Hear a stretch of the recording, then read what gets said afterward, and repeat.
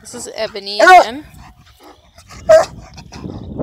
Just thought we'd catch her making some hound dog noises.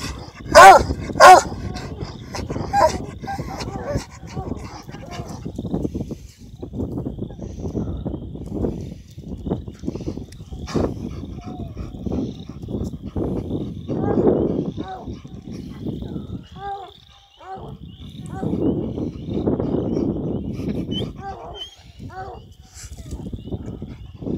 She's got a really good voice, this girl.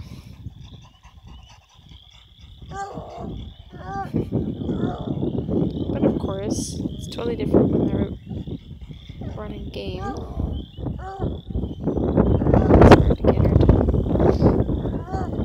do that awesome